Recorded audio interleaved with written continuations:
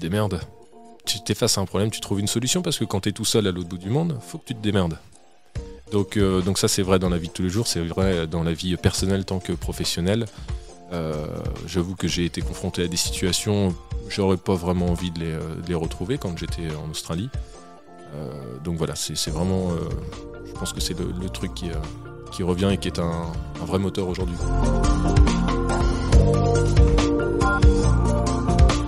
Bienvenue à tous dans ce nouvel épisode de System Cells, le podcast qui donne enfin la parole aux ingénieurs pour partager avec vous leur parcours exceptionnel. Aujourd'hui, j'enregistre un épisode exceptionnel en direct de la Cité du Numérique au Havre dans un studio magnifique avec des équipements super. Vous allez voir, normalement, le son de l'épisode va être exceptionnel. Je reçois Benjamin Colbock, PDG de Green System et président de la French Tech Le Havre Normandie.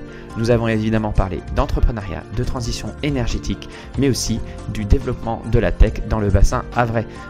Si vous souhaitez soutenir ce podcast et m'encourager à continuer ces passionnantes interviews, je vous encourage à le partager sur tous vos réseaux sociaux favoris, à le noter 5 étoiles sur Apple Podcast ou Spotify et à laisser un commentaire. Avant de démarrer cet épisode, je voudrais te parler d'une solution innovante que j'ai découverte pour générer des propositions commerciales très rapidement, complètement interactives, dynamiques et beaucoup plus encourageantes vis-à-vis -vis de tes clients qu'un simple PDF. Comme toi, avant, je passais des heures à produire, corriger et envoyer des propositions au format PDF, à les envoyer en pièce jointe d'un email. Cela créait de la frustration de chaque côté, de la part du client qui attendait la dernière minute pour recevoir les informations voulues, de l'angoisse de mon côté car je ne savais jamais comment le support était reçu et perçu une fois le document envoyé.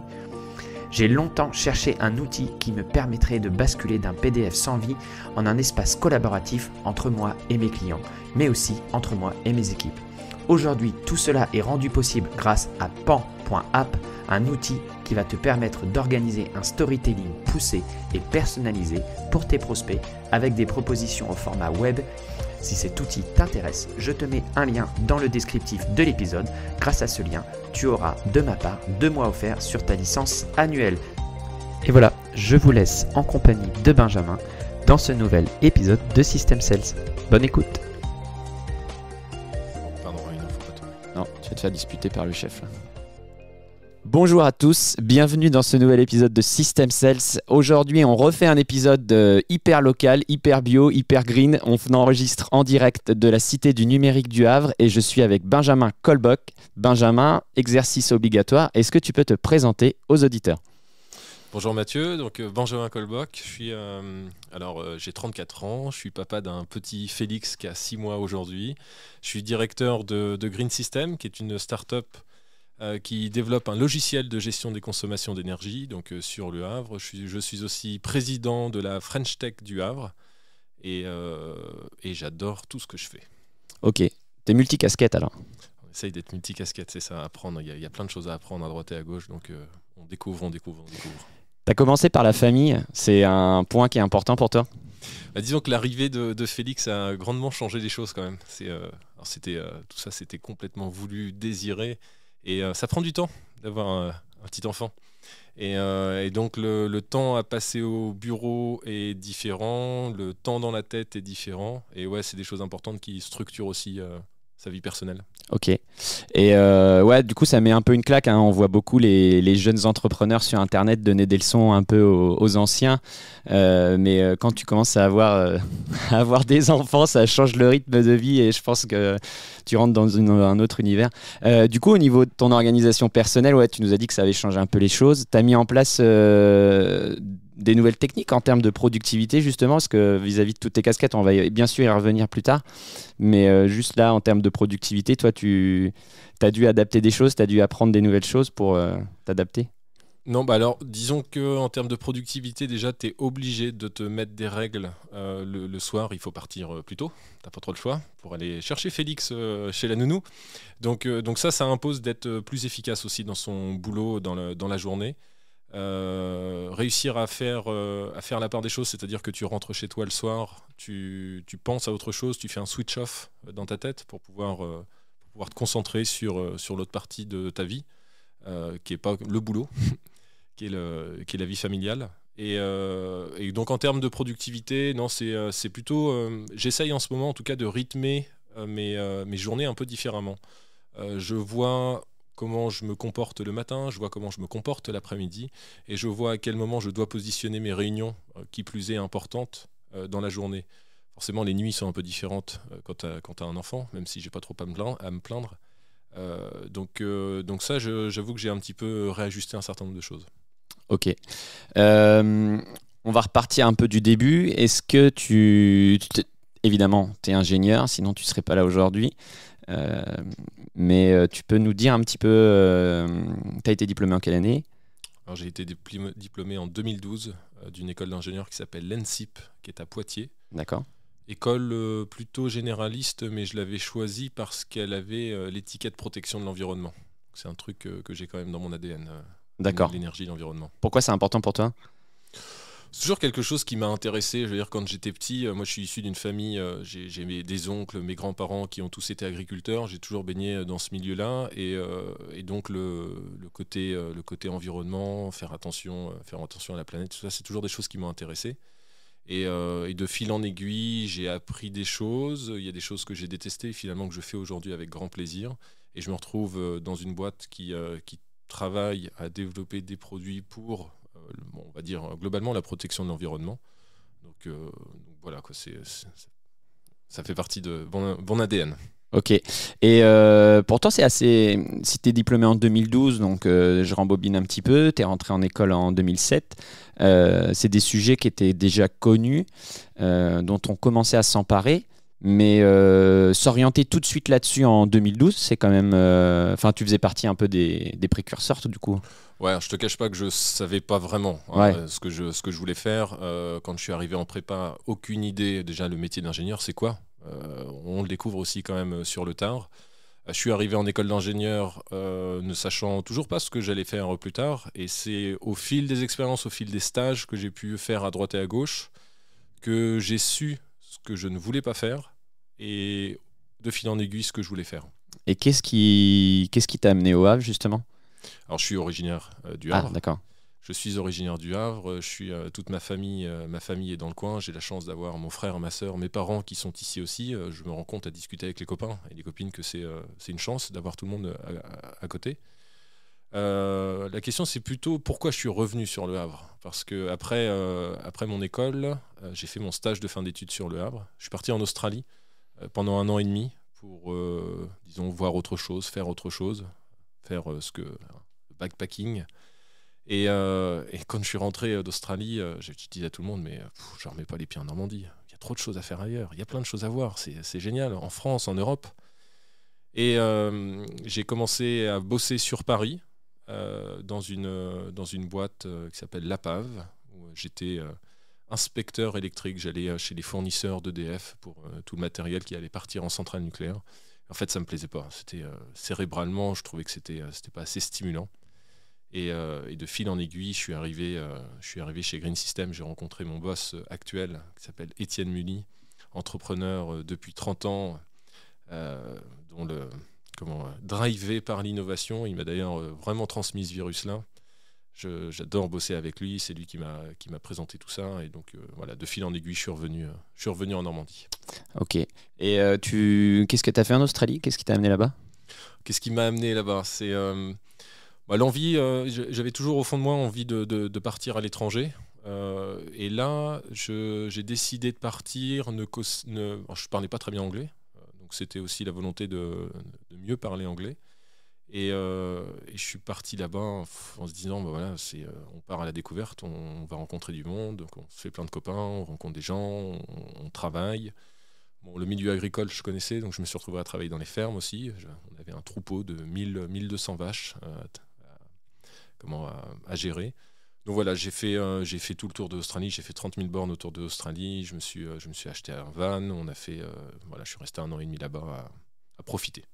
Ah ouais, d'accord. Sans but euh, particulier, mais juste dans. Apprendre l'anglais et profiter. apprendre l'anglais et profiter, quoi. Ouais. T'as bien raison, je pense. Hein, après, euh. ah ouais, non. C'est une période qu'on peut pas récupérer après. C'est exactement ça, tu vois, c'est ce que j'allais dire. Euh, quand moi j'ai des cousins, j'ai des, j'ai des, des, connaissances qui, qui, disent moi, je sais pas trop quoi faire après les études, mais pars.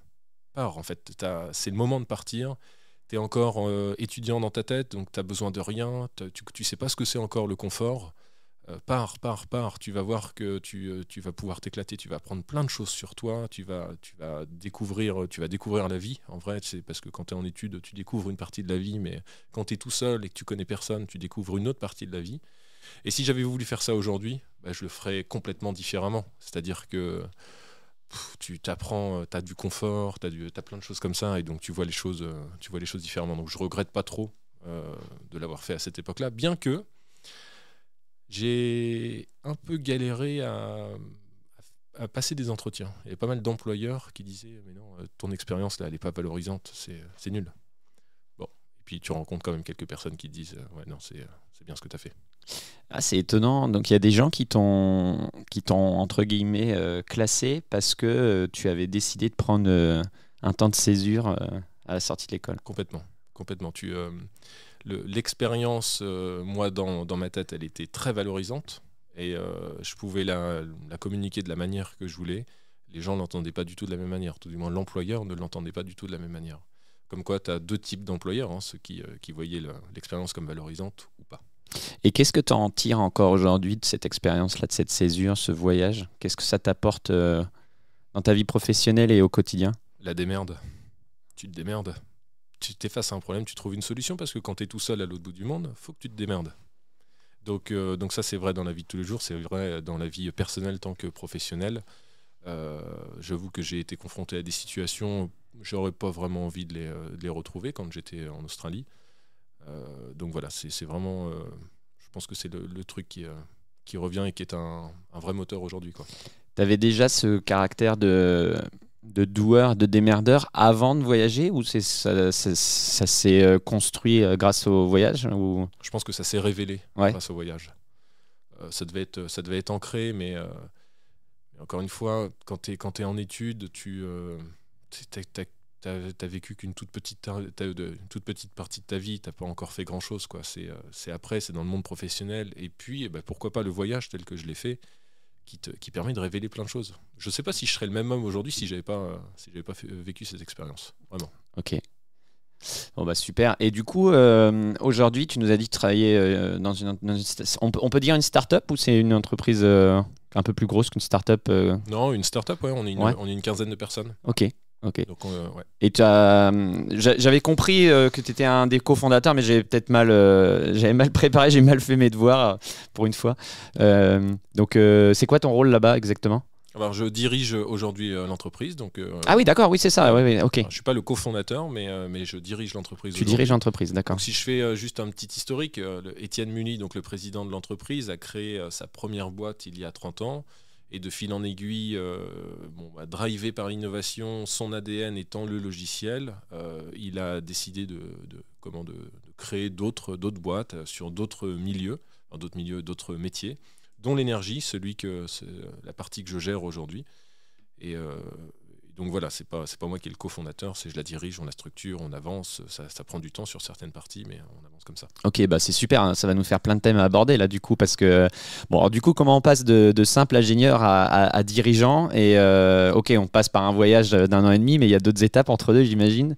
Qu'est-ce qui a fait que que j'ai oublié son nom, Étienne, c'est ça? Étienne t'a fait confiance et te confie les clés, euh, les clés du camion et pas du camping-car pour le coup Bah écoute, faudrait, à la limite, je t'invite à lui poser la question un jour, mais euh, c'est, euh, je pense qu'il y a un rapport de, le, rapport de confiance qui s'est construit euh, au fur et à mesure. l'humain, j'espère qu'il sera d'accord avec moi là-dessus. l'humain dans tout ça est super important, puis il y a un moment, il faut savoir faire ses preuves. Donc tu travailles, tu travailles d'arrache-pied, tu construis des choses, et tu vois que, tu vois que ça, ça, ça porte des résultats, tout ça. Donc, euh, donc je, suis rentré en fait pour construire le premier produit de Green System, parce qu'il y en a, il y en a quelques-uns maintenant, euh, qui est un logiciel de management énergétique. Et puis bah, de fil en aiguille, d'autres produits sont arrivés. Et puis bon, bah, le, besoin de commercialiser, le besoin de faire du marketing, etc. etc. Donc euh, j'ai, pris le, ce, rôle de, de directeur. On m'a attribué ce rôle de directeur. D'accord. Et quels sont tes. T'avais un profil plutôt technique avant ou tu avais déjà une base, euh, enfin, tu te sentais déjà une, une âme plutôt euh, entrepreneuriale? Ouais, pareil, je pense qu'il y avait toujours ça au fond de moi, mais euh, il y a un moment, il faut des révélateurs. Quoi. Donc, donc j'avais ça au fond de moi. le travail que je fais aujourd'hui, c'est le travail d'un entrepreneur, bien que bien que bien que c'est pas moi qui ai créé la boîte. Mais, mais qui dit entrepreneur dit encore une fois de la démerde, construire, mettre en relation, aller chercher, chercher des infos aux bons endroits, trouver les petits filons. Et, et donc c'est comme ça que c'est comme ça que j'ai avancé. Et première question, du coup, c'est quoi ton, ton, plus gros challenge actuellement en tant que, en tant que dirigeant, justement?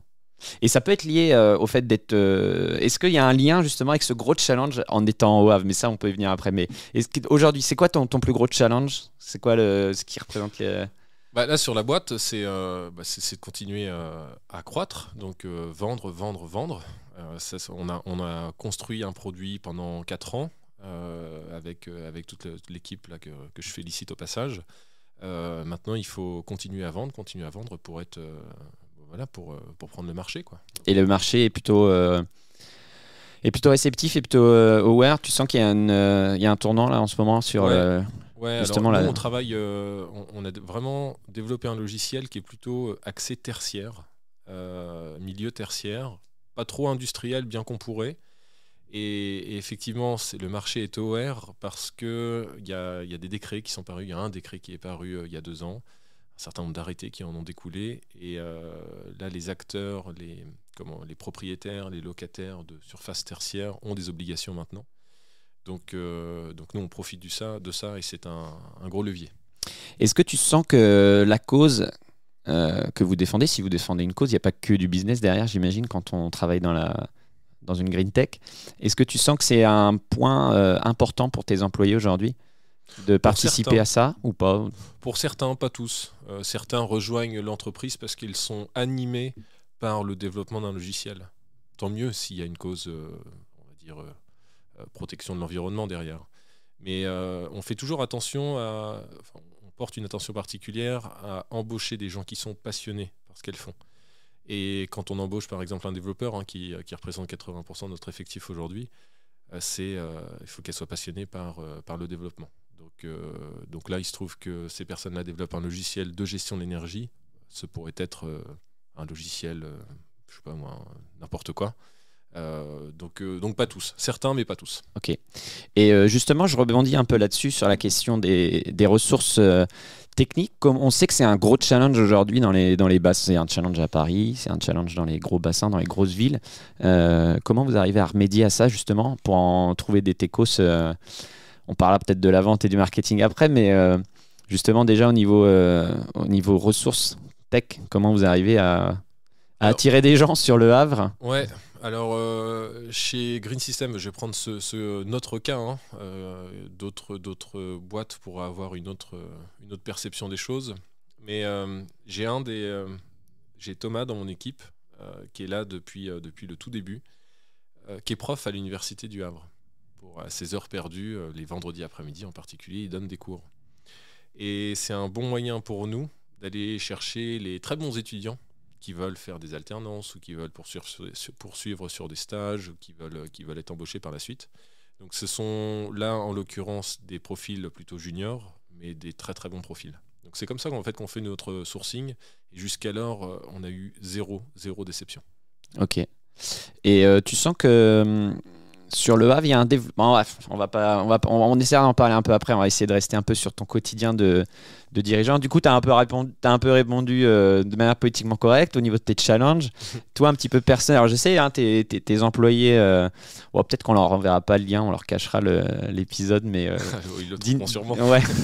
Dis-nous un petit peu, qu'est-ce que, qu'est-ce qui, ouais, dans ton tous les jours, qu'est-ce que tu trouves le plus difficile encore au niveau, tu dis que tu as 18 personnes à manager, c'est plutôt dans la partie vente, la partie marketing. De fait de ton parcours, justement, tu es encore euh, jeune, je vais pas demandé ton âge, mais tu peux nous le donner. 34 ans. 34 ans, voilà, il y a encore euh, pas mal de trucs qui te, que tu as à découvrir, justement. C'est quoi alors le. Alors, euh, ça fait 7 ans que je suis chez Green Enfin, ça va faire 7 ans au mois de septembre que je suis chez Green System et j'ai passé une bonne partie des 7 années à construire le logiciel. Donc, gérer toute la partie tech euh, ça se construit au fur et à mesure. Hein. Il y a besoin de mettre des process en place, besoin de documenter, ce genre de choses. Donc euh, tout n'est pas encore parfait, mais on avance franchement, franchement bien. C'est pas pas la partie la plus compliquée. Là, c'est euh, en tant qu'ingénieur, qui finalement aime bien être au contact, moi personnellement, qui aime bien être au contact de, comment, du client pour comprendre son besoin, comment on peut y répondre. Il y a, l'autre aspect, donc marketing, commerce, c'est quelle va être la bonne tournure de phrase pour convaincre, mais à grande échelle, à travers des emailing, des, des, comment, du contenu web, comment on va pouvoir convaincre, comment on va pouvoir travailler, quels sont les process qu'on doit mettre en place, quels sont les outils qu'on doit mettre en place. On a bien travaillé là-dessus, mais on a encore euh, pas mal de boulot là-dessus pour, euh, pour, euh, bah, pour créer du leads, quoi. créer du leads et puis continuer à, convaincre. Et ça c'est le, challenge. Et en termes de, on, voit qu'il y a certaines startups dans la tech justement qui ont, qui, qui, qui prennent l'axe de dire ok, on va d'abord il y a la technique, c'est important, mais on va mettre un gros paquet sur le marketing pour essayer de positionner la marque tout de suite mm. et en faire quelque chose d'énorme, même si derrière euh, ça peut bloquer au niveau des, ventes ou quoi que ce soit. Est-ce que euh, c'est un truc que tu as conscience, ça que, euh, Ou tu penses finalement, toi, tu es sur un marché qui est assez ouvert et que bah, prendre son temps, ça va aussi? Non, je pense qu'il faut prendre son temps, c'est bien, mais il ne faut pas trop prendre son temps trop longtemps quand même. Euh, on sait qu'on a un travail sur notre marque euh, à réaliser. On ne l'a jamais fait. Très honnêtement, on ne l'a jamais fait. il va falloir qu'on arrive à le faire. Ça passe par euh, plein de choses à mettre en place. on a conscience, et c'est important d'avoir conscience aussi de, de, ses défauts. on a beaucoup de défauts sur ces, sur ces parties-là. Il faut qu'on y remédie. Mais le problème, c'est que ça prend du temps. Donc après, tu peux mettre aussi beaucoup de beaucoup de ressources, euh, et qui dit ressources dit argent euh, devant tout ça pour pouvoir euh, améliorer, mais dans les faits, ça prend du temps. C'est-à-dire qu'une marque, ça se crée pas, elle n'est pas connue comme ça du jour au lendemain, ça prend des mois, voire si ce n'est plus. Donc, donc voilà, c'est un travail, ça va être un travail pour 2022-2023 en tout cas ça. Ok, bah super. Et donc à tes heures perdues, es un... tu as décidé aussi de t'investir au niveau de la, de t'investir au niveau de la French Tech. Qu'est-ce qui t'a poussé à, te proposer, à prendre un peu de, leadership sur cette question-là? Euh. Alors, euh, sur, euh, sur la French Tech, c'est c'est l'envie de, partager. j'ai toujours eu, j'ai toujours beaucoup appris des autres. Je, pense que jusqu'à la fin de ma jour, je continuerai d'apprendre des autres. Mais jusqu'à il y a peu de temps, je, je ne transmettais pas beaucoup. Et en fait, je me suis rendu compte assez naturellement que je commençais à transmettre des choses, partager des choses. Et les personnes avec qui je discutais, qui apprenaient de moi, étaient satisfaites et aimaient ce que je pouvais, euh, ce que je pouvais dire. Et donc, euh, donc la French Tech, c'est un petit peu ça. C'est l'envie de, d'accompagner euh, des, alors en l'occurrence des porteurs de projets, puisque ça, a été ça en tout cas. On, a, on, a, on a créé, on a été vivier de la création d'une dizaine de startups ici, hein, de la legal tech, de la prop tech, de, euh, de NFT, enfin tout, euh, tout ce, monde technologique. Et, euh, donc ouais, c'est, moi j'en suis arrivé là, c'est, pour, c'est vraiment pour partager, pour aider quoi. Et ouais, principalement ça. Ok, et euh, du coup, tu penses que justement sur le Havre, il y en avait besoin, il y avait besoin de donner euh, cette impulsion, ou il y avait déjà quelque chose et il suffisait de donner des moyens aux gens ou de donner confiance, ou c'était quoi l'idée derrière? C'était d'insuffler un peu, de dire ok, regardez, vous n'êtes pas tout seul, rassemblez-vous pour donner envie un peu aux autres sur le bassin de parce que franchement, quand on connaît pas, on voit le Havre, on se dit bah c'est avant tout un du tertiaire, euh, ou un gros bassin ouvrier. Et je dis pas ça du tout de manière péjorative. Moi, je travaillais 15 ans en industrie, donc euh, j'adore j'ai adoré ça. Mhm. Mais euh, on voit pas encore le Havre comme une, un pôle tech justement. Bah, merci de le dire. Euh, bah non, mais. Bah non, je sais pas si c'est ça. Mais c'est complètement ça. Et en fait, le, problème, euh, c'est que euh, jusqu'alors, tu étais porteur de projet. Mais en fait, tu n'avais rien pour, pour t'accompagner. Tu savais pas comment faire. Tu vas, dans, tu vas à la capitale, tu vas à Paris, tu es porteur de projet, tu peux taper à plein de portes pour, être accompagné. Surtout si c'est un projet dit innovant, technologique. Tu vas à Rouen, c'est le cas. Tu vas à Caen, c'est le cas. au Havre, il n'y avait rien. Donc la French Tech, c'était ça. C'est enfin, c'est ça, pardon. Euh, tu, viens, euh, tu viens, as ton projet, et eh bien on va, vient on va, t'accompagner pour faire en sorte que ton projet devienne une entreprise. Et si c'est une entreprise, alors comment faire en sorte que tu, viens, tu, tu rencontres de la croissance et de l'hypercroissance derrière? Donc on n'en est pas encore là. Euh, ça, fait, ça fait combien Une petite année qu'on a ouvert. Donc tout se construit au fur et à mesure. Mais voilà un petit peu ce qui, ce qui m'anime aussi aujourd'hui. Ouais, toi, tu as envie de dire. Enfin, je vais pas te paraphraser, je vais pas En gros, ce que tu as envie de dire, c'est de, aux, jeunes entrepreneurs, enfin, jeunes ou moins jeunes, allez-y, lancez-vous parce qu'il il y, a des gens pour vous accompagner. Mais ouais, et puis il y a plein de choses à faire. Là, en l'occurrence, sur le Havre, on est un port. Il y, a un port qui est gigantesque avec des flux multimodaux énormes, de la, logistique. Il y, a du tertiaire, comme tu le dis, il y a de l'industrie des porteurs de projets, viens, viens, parce qu'il y a, y, a, un vivier d'innovation euh, ici qui est extrêmement important. Et donc, euh, ben, on, aimerait que on aimerait qu'il y ait plus de monde et puis que, puis voilà, que ça, prenne, que ça s'apporte et, qu'on connaisse le Havre aussi comme une, comme une terre d'innovation. Ok. Et euh, quand vous avez, ça a été quoi les challenges au démarrage justement de la French Tech? Parce que de mémoire, ça correspond à peu près au début de la crise sanitaire. Ouais, c'est ça le problème. Ouais. Vous avez pris. Euh, on a, euh, enfin ouais, il y a la crise sanitaire, donc il y a les confinements qui sont arrivés euh, au moment où on devait ouvrir le, comment le, le, bâtiment, la cité numérique, hein, qui est le, bâtiment totem de, de la French Tech. Euh, et, puis bon voilà, toutes les, ouvertures euh, ont été repoussées, donc les événements ont été repoussés, donc notre communication a été repoussée, donc on n'a pas pu faire tout ce qu'on voulait. Malgré tout, encore une fois, on a fait un certain nombre d'événements, on a, accueilli un certain nombre de porteurs de projets, de startups qui se sont créés. Moi je trouve qu'on a un bilan qui est, est admirable. Euh, l'équipe de la French Tech, six personnes, six personnes ont fait un boulot qui, était, qui est admirable également. Donc, voilà, on est parti de zéro, on a quand même construit des, belles choses aujourd'hui. C'est quoi les, achievements qui te plaisent le plus alors, justement? Oh tu vois, je, parle beaucoup des, porteurs de projets, des, startups, c'est ça. Quoi. Je, suis trop content qu'on ait réussi à, pouvoir embarquer des, euh, embarquer des, gens, des équipes vers, euh, vers la constitution de leurs, leurs entreprises euh, respectifs. et tu sens qu'il y a un engouement sur le bassin pour, pour, ces, pour les startups, justement, pour cette nouvelle économie? Et euh, est-ce que euh, je te dis ça parce que toi, quand euh, il y a des intervenants qui sont venus, ils ont trouvé un petit peu ça entre guillemets un peu moumou, les gens pas très réceptifs aux nouvelles méthodes de marketing, à la nouvelle méthode de, vente peut-être. Et, puis le, dernier point, c'est quand tu crées, tu as besoin d'argent. des fois, je pense que l'écosystème parisien pour lever des fonds, etc., est très dynamique. On voit que l'argent est là. Mais est-ce qu'aujourd'hui, pour un entrepreneur qui voudrait se lancer au Havre, c'est il faut qu'il aille chercher l'argent euh, à Paris quand même ou il y a quand même? tu arriveras à trouver sur le Havre aussi mais forcément ce sera peut-être un petit peu compliqué un peu plus compliqué tu auras probablement un petit peu moins de choix. Mais on veut quoi? On veut rien faire ou on veut faire quelque chose? Et puis euh, quand tu veux quand tu veux faire quelque chose bah, tu pars aussi de, de la situation de référence. La situation de référence elle est nulle il y avait rien.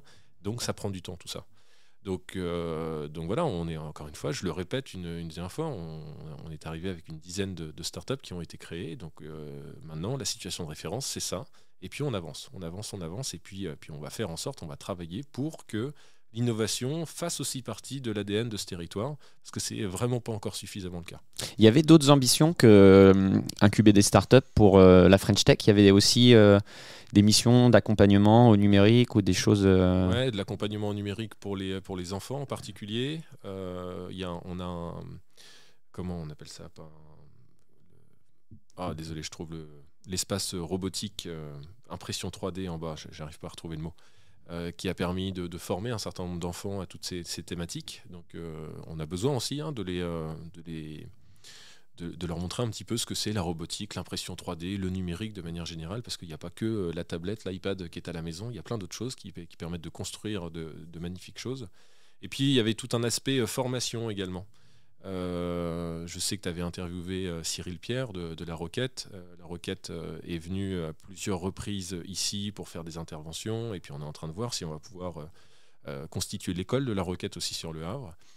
Et puis la formation, ça va passer par euh, bah, l'école 42 qui va s'installer là. Donc on se félicite tous euh, de l'école 42 qui va, qui va venir ici. C'est quand même un moyen pour bon nombre de personnes de, bah, d'être formées euh, gratuitement au métier du numérique. Et, donc pour moi, en tant que, en tant que directeur de, Green System, demain savoir qu'il y a des étudiants qui vont sortir, des, étudiants qui vont sortir de, de 42, quand même un, gros vivier de, développeurs. Euh. Ah bah oui, c'est un cercle vertueux après derrière. Ouais. Et euh, pour avoir vécu un, plan social euh, il n'y a, pas, y a, y a, pas si longtemps que ça, quand tu commences à regarder les reconversions possibles, tu te disais, bon, c'est un peu short quand même les possibilités. Et en fait, demain, de dire, bah, il y a une école, de, une école de, pour, de, pour coder, même si à 40 ans tu veux t'y mettre, ou une école pour, pour devenir ou apprendre le, la vente. Ouais, moi aussi, je trouve ça super cool, quoi. Ah franchement.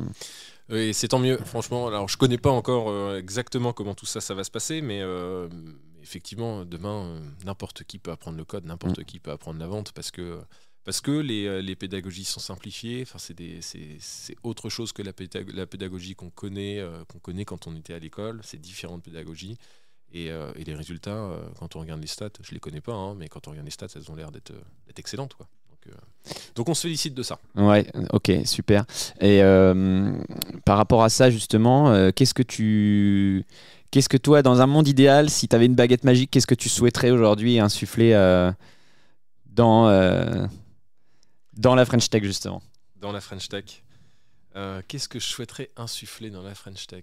Ben, Plus, peut-être plus d'accompagnement encore qu'on pourrait, euh, pourrait l'avoir aujourd'hui, des différents partenaires locaux, euh, les acteurs publics, les acteurs privés. On en a certains qui nous, qui nous accompagnent. On a créé de, beaux partenariats. Euh, mais si on pouvait en avoir plus qui permettrait de, d'aller encore plus loin, d'aller encore plus loin parce qu'il y a vraiment quelque chose d'important à faire ici. Si on, si on se compare aux autres, aux autres villes de Normandie, on a encore du chemin à faire. Et, donc voilà, un coup de baguette magique, ce serait euh, continuer à vouloir, vouloir, faire bouger les choses, euh, faire bouger les choses ici, quoi. Tout à l'heure, il y a un mot que tu as, prononcé. Tu dis qu'il y a une startup euh, liée un petit peu au NFT, au Web3. J'ai noté parce que du coup, euh, ça fait un peu. Euh, je pense que les gens, là, ils vont avoir les oreilles. Il y en a soit qui vont avoir les oreilles qui vont sauter, soit d'autres qui comprennent rien. justement, est-ce que c'est pas l'occasion C'est une économie qui commence à, à décoller. Il y en a qui y croient, il y en a qui y croient pas. Mais ce ne serait pas l'occasion, justement, au Havre de se positionner ce créneau-là euh. Alors, euh, se, positionner sur ce créneau-là, je sais pas, mais en tout cas, il y a une, une start-up ici, Culinaire, elle s'appelle, euh, qui, qui, fait ce, qui fait ce boulot-là. Alors, Culinaire, malheureusement, je vais pas le, je vais pas le, dire, l'expliquer aussi bien que, que les trois cofondateurs, mais les, grands chefs créent des, grands chefs de restaurants.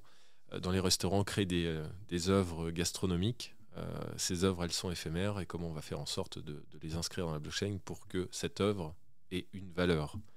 Et, euh, donc, bah, Culinaire s'est créé ici. On a accompagné Culinaire euh, à la French Tech. Et donc euh, faire en sorte que le Havre soit territoire NFT, je sais pas si on peut faire ça. Hein. je sais pas si on peut faire ça, mais en tout cas, il y, a, des choses qui se passent ici. C'est quoi le tu, tu, saurais définir NFT là juste euh, honnêtement, tu sais pas. Ah, c'est des trucs euh, des, C'est quoi? C'est non non fungible token. ouais, c'est ça. non, je, non, je connais pas suffisamment. C'est vraiment c'est super intéressant par contre ce truc-là. Hein, et ça ça émerge. ça émerge. Ça a émergé et ça pousse énormément.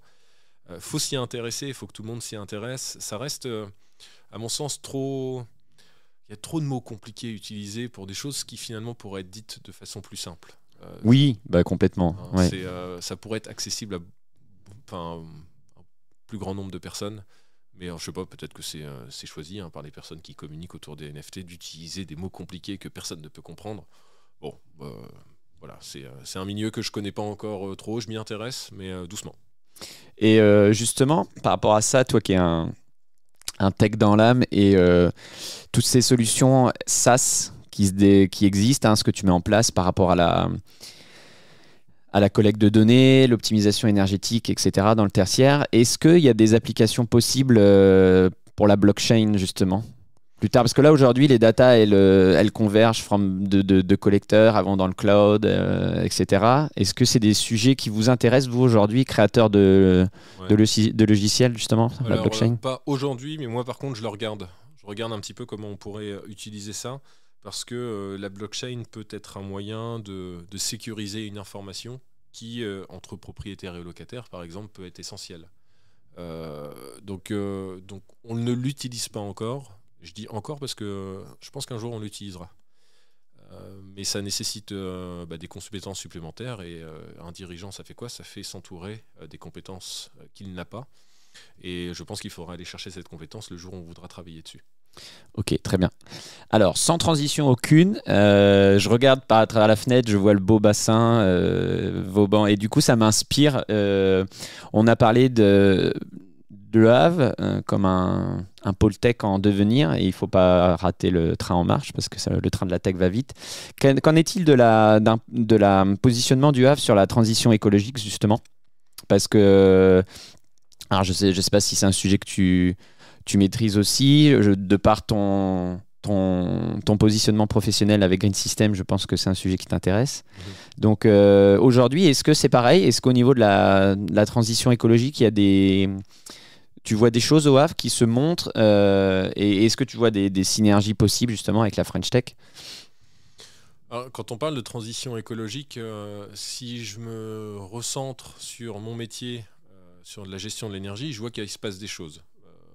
Euh, pour, discuter avec les acteurs publics. Il se passe des choses, ils sont très proactifs d'ailleurs, euh, les acteurs publics, donc la métropole du Havre, la ville du Havre, et, euh, je les félicite là-dessus, il y a vraiment des, belles choses en devenir. Je constate aussi que bah, Siemens s'est installé, Siemens Gamesa, avec toutes les, comment, la, construction, la fabrication des éoliennes qui vont, partir, en mer.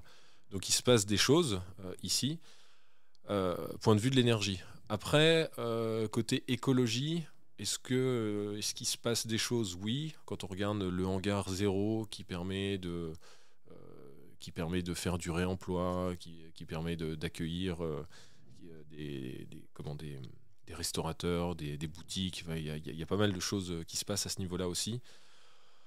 Après, on peut toujours faire plus. L'intérêt n'est pas faire du, du greenwashing. il faut être, faut être concret, il faut être acteur voilà, je sais, je peux pas te dire euh, ce qui se passe de plus, mais forcément qu'il se passe des choses. Pas, tu, euh, toi en tant qu'avray, peut-être que tu vois des choses aussi Nous, on a, vu, on, a vu émerger des, tiers-lieux là, euh, sur Fontaine-la-Mallée, donc je ferai un épisode là-dessus. là-dessus. C'était, donc je salue, je salue Nicolas, Guillaume. qui, qui, passeront donc le tiers-lieu à Fontaine-la-Mallée, la Chaumière Ok, bah écoute, euh, on a parlé euh, de transition écologique, on a parlé de la French Tech, c'était super, euh, super intéressant. Qu'est-ce que, on va parler un petit peu de toi du coup. c'est quelle personnalité aujourd'hui t'inspire le plus? Au niveau, ça peut être au niveau entrepreneurial, ça peut être au niveau. M'inspire le plus. Ouais. C'est une question, c'est une question que je me dis, je vais commencer à poser aux invités parce que euh, quand je vois par exemple la fascination qu'ont les gens pour Elon Musk par exemple, ça, me dépasse. Bah, tu vois, c'est ce que j'allais dire. C'est vrai. Ouais, c'est ce que j'allais dire. Alors il me, il me fascine, il me, il m'inspire. Je sais, je sais pas s'il m'inspire, mais en tout cas il me fascine. Ce mec est ouf. Là, quand tu vois l'histoire du rachat de Twitter, c'est un truc de malade quand même. C'est euh, c'est une autre dimension. Donc c'est vraiment euh, c'est la fascination. C'est pas euh, je, je, suis pas inspiré plus que ça par cette par cette personne parce qu'en plus il est quand même alors il faut savoir l'être aussi de temps en temps, mais il est relativement clivant, je trouve aussi. Euh, mais c'est fascinant cette, cette capacité à créer alors des entreprises en plus qui sont qui sont celles qu'elles sont Tesla, SpaceX, Neuralink, mettre des puces dans le cerveau. C'est des projets qui sont tous complètement différents et tiens, du coup, justement, par rapport à ça, on voit qu'aujourd'hui, euh, il y a beaucoup d'entrepreneurs ou même de dirigeants qui prennent de plus, de plus en plus la parole sur les réseaux sociaux, qui, mettent, euh, qui se mettent en avant. Et du coup, bah, ça aide aussi à propulser leur entreprise euh, sur le devant de la scène. Est-ce que toi, c'est quelque chose que tu serais prêt à faire, à te mettre un peu plus en avant personnellement? Enfin, tu es quand même t'as pas l'air timide, en plus tu prends la, présidence de la French Tech depuis deux ans, donc tu es, quelqu'un qui a l'air plutôt à l'aise. Est-ce que tu, comment tu vois ça justement l'année j'ai failli dire nécessité pour moi, c'est presque maintenant devenu une nécessité, tu vois, d'aller incarner son entreprise euh, sur le net, mais. Euh, tu vois, avant que tu dises c'est une nécessité, j'allais dire je pense que c'est nécessaire. Euh, je pense que c'est nécessaire, par contre, je sais pas le faire. Je sais pas le faire et faut que j'aimerais, enfin j'aimerais, il faut que j'apprenne à le faire parce que c'est aussi comme ça que tu véhicules alors l'image, la marque de ton entreprise. Euh, et, c'est quelque chose qu'il faut que j'apprenne à faire. Tu vois, Elon Musk, euh, il sait faire ça. Euh, c'est, ce mec, c'est, un as du marketing. Mm. C'est un as de la, communication de soi en particulier, en particulier sur, sur Twitter. Donc, euh, donc ouais, c'est des choses qu'il faut que j'apprenne. Je ne sais pas le faire aujourd'hui. Bah, en France, à une époque, on avait aussi euh, Xavier Niel qui prenait. euh, Ouais, c'est- il n'y avait pas encore l'essor euh, des, des réseaux, mais Xavier Niel prend souvent la parole, prenait souvent la parole pour mettre en avant la marque Free. Le PDG de Leclerc, Michel Edouard Michel. Edouard, il prend, il prend énormément la parole sur LinkedIn aussi. Ouais. Bon, t'en es pas à ce niveau-là, Ah non, mais non, j'en suis euh, pas à ce niveau-là, mais c'est des choses que j'ai en tête et j'en parle souvent avec euh, Pauline, euh, avec qui je bosse, je bosse beaucoup chez Green System au marketing. C'est comment on pourrait, comment on pourrait faire tout ça? C'est quoi le Parce qu'il y a une, je pense qu'il y a une stratégie aussi à adopter là-dessus. Bien le sûr, personal branding, c'est quelque chose. Comment, comment tu vas communiquer? Est-ce que tu décides d'être, euh, d'être clivant ou pas? Euh, Parce que ça peut être une, une stratégie, une, une stratégie aussi à employer. C'est pas trop mon truc ça, d'être clivant. Euh, mais voilà, c'est un, c'est pas un métier, mais c'est une euh, compétence en tout cas qu'il faut savoir euh, acquérir. on, alors je sais pas, il faut toujours démêler le vrai du faux sur, sur LinkedIn, mais il y a beaucoup de métiers qui se créent autour de cette communication des CEO pour les emmener sur les réseaux, donc soit des ghostwriters, des copywriters, des conseillers en images, etc. Tu comprends cet écosystème qui se crée autour de ça tu, tu sens que toi, en tant que CEO, c'est un vrai besoin un- tu, tu serais prêt, toi, à confier ton image à quelqu'un ou... Confier mon image, non. Euh, être accompagné pour euh, le faire et bien le faire, pourquoi pas. Mais confier, non. Tu sais, comme un community manager de, euh, qui pourrait prendre, prendre ta marque ou prenne- Ouais. prendre, pas, t'as Instagram, t'es une personnalité sur Instagram, t'as des gens qui vont tenir ton Instagram. C'est pas, c'est pas, c'est pas mon truc, ça. Et Quelqu'un qui va tenir mon LinkedIn, non, c'est pas mon truc, c'est moi. Je- C'est moi qui parle. Par contre, euh, savoir euh, parler sur ce type de réseau, pourquoi pas? Euh, Apprendre à savoir parler sur ce type de réseau, pourquoi pas? Bon, ça passe par, euh, pourquoi pas des formations, hein, je sais pas. C'est- Et euh, bah oui, qui existent. hein. ouais. Bon après, euh, je pense que pour un, une- un individu, euh, c'est, c'est, il y a ouais, il y a des formations. Il y a surtout aussi une volonté de de franchir le pas, je pense, d'aller Ouais, euh, ça. casser. Parce que je je pense que vis-à-vis des réseaux sociaux, on a une appréhension, c'est qu'on pense que tout le monde va nous voir. Oulala, attention. Mais en fait, finalement, euh, la durée de vie d'un poste, euh, même si on peut retrouver un historique, faut pas dire n'importe ouais. quoi, mais euh, la durée de vie d'un poste, finalement, dans le flux des gens, dans la, dans- dans- au quotidien, je pense que c'est la durée de vie, c'est 20 secondes. Exactement. Mais et, et on dit souvent, qu'est-ce que tu penses de ça que et c'est très compliqué de, de promouvoir cette philosophie-là, justement, moi, je trouve, c'est euh, d'engager tous ces employés autour de soi. Alors, évidemment, vous êtes une quinzaine, donc c'est plutôt, ce serait même plus simple. Euh, mais tu n'arriveras jamais à trouver 15 personnes motivées. Mais tu vois, d'aller engager l'ensemble de, de ces employés pour essayer justement de faire effet de levier et rendre euh, sa marque le plus rapidement. euh, Ouais. Euh, Qu'est-ce que tu as envie de dire à tes employés justement par rapport à ça? Alors, euh, en fait, euh, leur dire. Le truc, c'est que si moi j'ai envie de communiquer sur LinkedIn, c'est peut-être pas le cas de, de mes collaborateurs. Oui. J'en ai certains qui ne sont pas sur LinkedIn et ils ne souhaitent pas l'être. Je fais un petit clin d'œil là au passage, il saura s'il écoute euh, se reconnaître. Euh, et d'autres euh, ont un LinkedIn, mais c'est parce que parce qu'il faut en avoir un. Et euh, par contre, aller travailler, communiquer dessus, enfin, ça reste leur réseau à eux aussi. Je peux rien, Ouais. je- on peut rien obliger, à mon sens, là-dessus.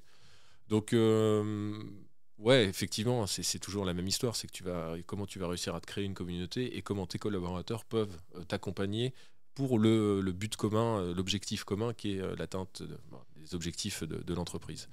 C'est encore une fois, c'est toutes tes stratégies dans ces moments-là. C'est qu'est-ce, comment tu vas, comment tu vas écrire l'histoire. Et euh, je, je te cache pas qu'on a, on n'a pas du tout encore travaillé sur ce genre de choses. Ouais, c'est c'est c'est- c'est vite chronophage en fait surtout. hein. C'est ça. Ouais. ouais. Ouais, et puis euh, c'est quoi ta gestion des priorités? Ouais. Euh, Est-ce que ça, est-ce qu'aujourd'hui c'en est une? Non. Euh, Après c'est du marketing pas cher. Certes, certes, c'est du marketing pas cher, c'est sûr. Mais euh, c'est du marketing pas cher. effectivement, ça te coûte pas cher, ça peut te coûter en temps. Ouais. Ça peut te coûter en temps. La rédaction d'un post sur LinkedIn, moi j'en vois des, des posts sur LinkedIn de temps en temps, je me dis putain, mais il a dû prendre un sacré temps quand même pour le faire celui-là. Parce que tout est bien pensé, la, la phrase après l'autre. Bon, bah, quand tu sais que tu as 8-10 heures dans ta journée, s'il faut que tu prennes une heure pour créer ton post LinkedIn, bah, pourquoi pas hein Encore une fois, tout est question de stratégie. Si tu dois faire ça tous les jours, euh, mais si derrière euh, ça, ça t'apporte quelque chose pour l'entreprise, bah, tu as tout gagné. T'as tout gagné. Mais tout est question de gestion de priorité. Tu vas souvent sur LinkedIn toi? Tu passes un peu de temps. euh, Ouais, j'y passe du temps. Ouais, ouais. Et, et qu'est-ce qui qu'est-ce que tu aimes y voir justement? Qu'est-ce que tu aimes y trouver?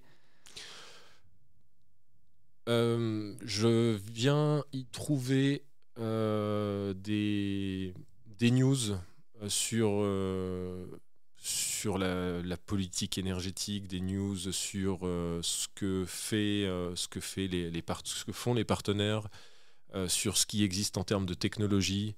et puis aussi parce que là, j'étais en train de, penser plutôt euh, développement euh, appliqué à l'énergie.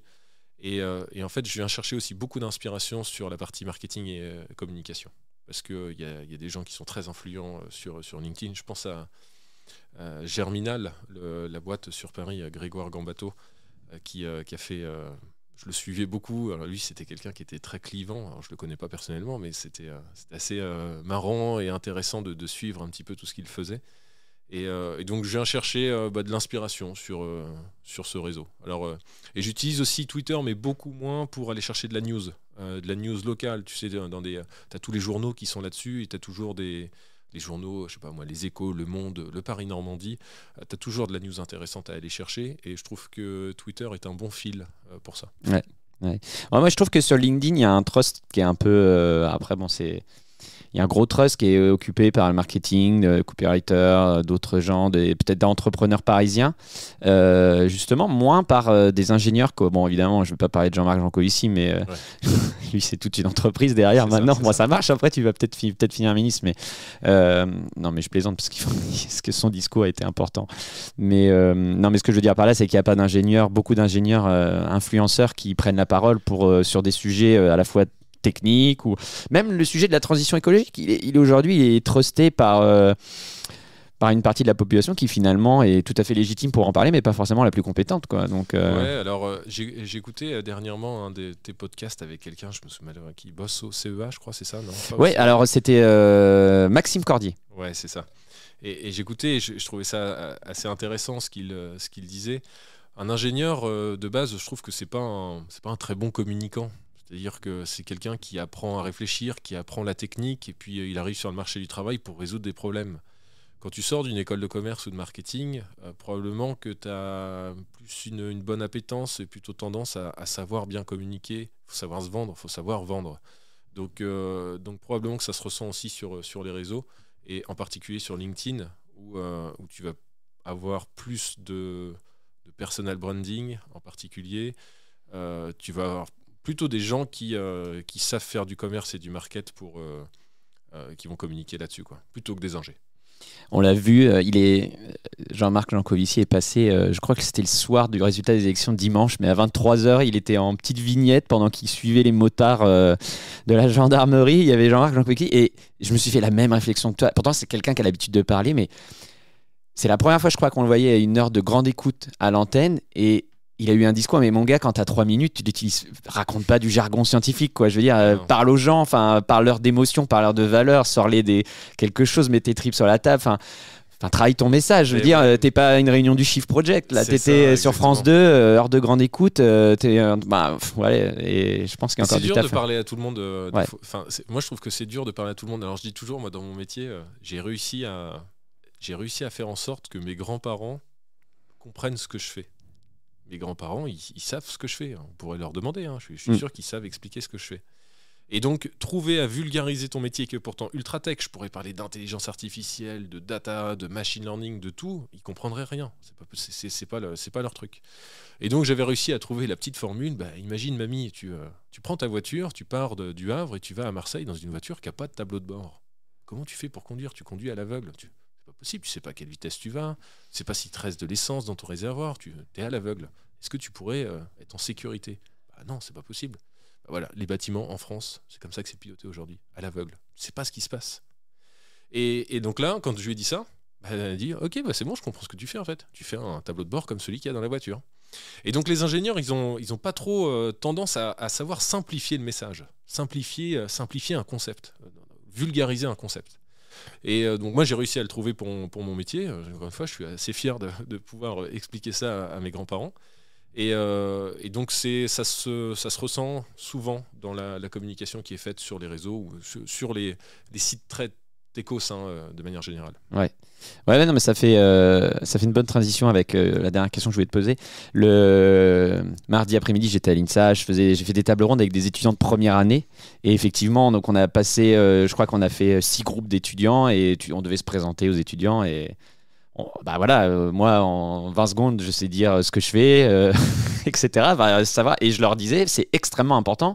Sachez vous présenter en 20-30 secondes, même pour aller faire des entretiens d'embauche, etc bossez votre storytelling et n'hésitez pas à dire, euh, hésitez pas à, dire qui vous êtes, ce que vous faites et euh, ce qui vous passionne, mais il faut savoir le faire rentrer dans, 20 secondes. Et du coup, bah, la dernière question que je vais te poser, enfin l'avant-dernière, parce que la dernière, elle sera, elle sera réservée. Euh, à ta promo personnelle. Mais l'avant-dernière question, donc du coup, est-ce que toi, tu as l'occasion justement de revenir un petit peu parler à des étudiants? Et euh, quel message tu passerais à un jeune de 18 ans aujourd'hui qui se lance, euh, ou de 18 ans, ou un jeune ingénieur qui sort sur le marché du travail euh, Quel message tu leur passerais justement? Ça peut être lié à l'entrepreneuriat, n'importe quoi, la tech, la transition écologique. C'est une bonne question. Alors euh, déjà, première, euh, première réponse à ta première question. Euh, non, j'ai pas trop l'habitude de parler des étudiants, mais peut-être qu'il faudrait que je le, fasse, un petit peu plus. C'est vrai que c'est toujours...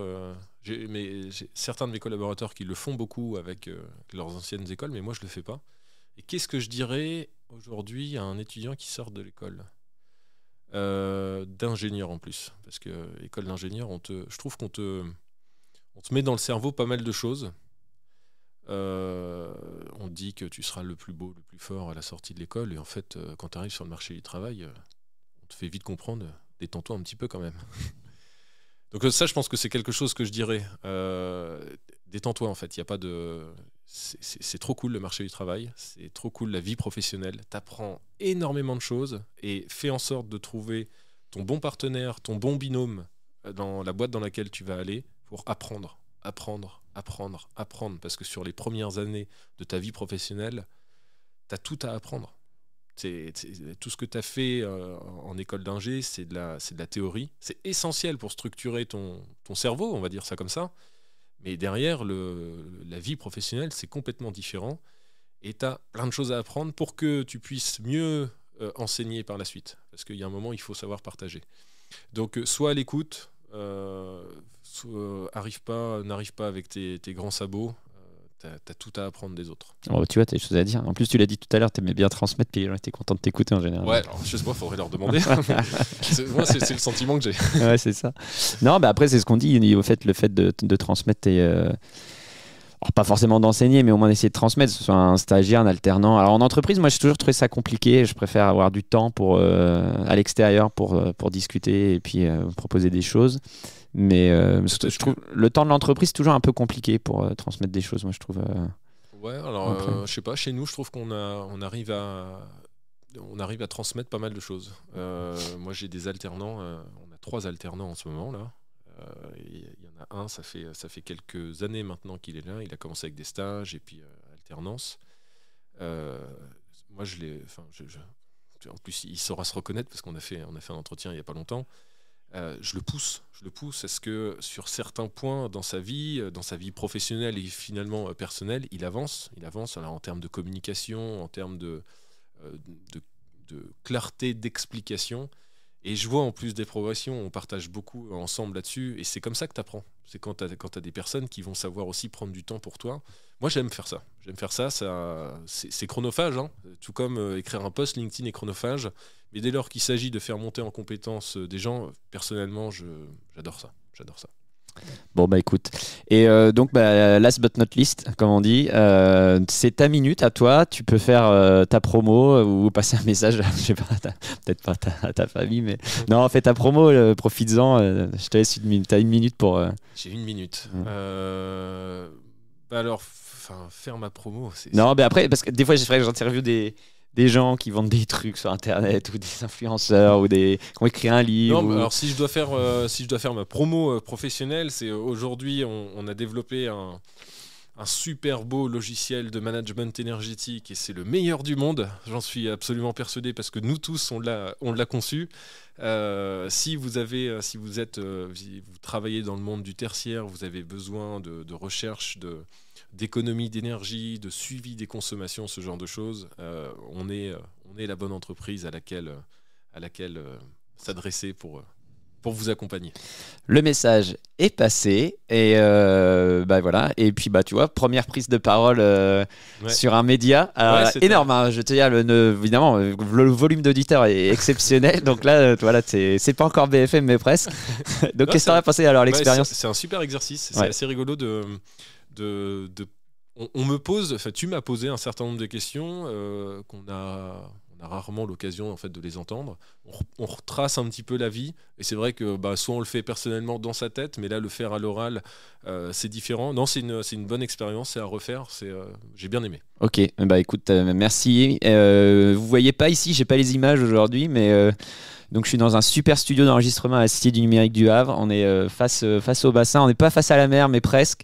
donc voilà, bah, super interview. ouais, et moi je suis super content de de continuer à proposer des, interviews euh, d'ingénieurs du bassin euh, à vrai et on va, on va continuer l'exercice. Donc euh, offline, je vais prendre des cartes de visite et puis on va aller. Tu me diras quels sont ceux qui valent le coup d'aller.